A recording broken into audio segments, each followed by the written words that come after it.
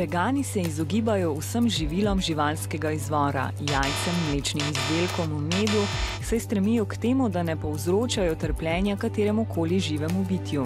Ne boste se torej zmotili, če boste majni mami ponudili zelenjavne zavitke s tofujem, kuskus ali humus, ki je namaz iz čičerike.